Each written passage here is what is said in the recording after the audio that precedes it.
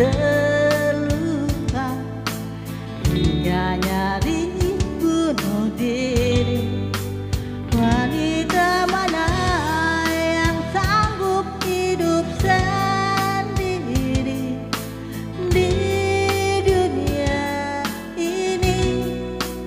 Walaupun telah tutup mata hati Begitu